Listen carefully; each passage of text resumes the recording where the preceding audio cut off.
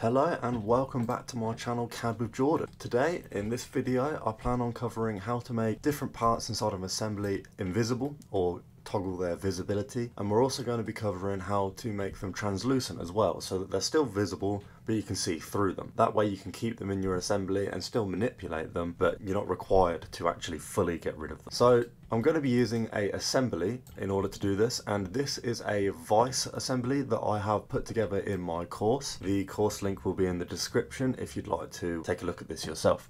Anyway, the best way for you to toggle the visibility of a part is to simply right click on it and press V and that will just get rid of it. And you'll see on the left hand side in the model tree here that the cube has now gone to a wireframe rather than this shaded model. And that just shows you that the visibility has been disabled. So right clicking and pressing V is a quick way of doing it. Alternatively, you can do it in the model tree and that's how you're going to turn it back visible again because there's nothing to click here.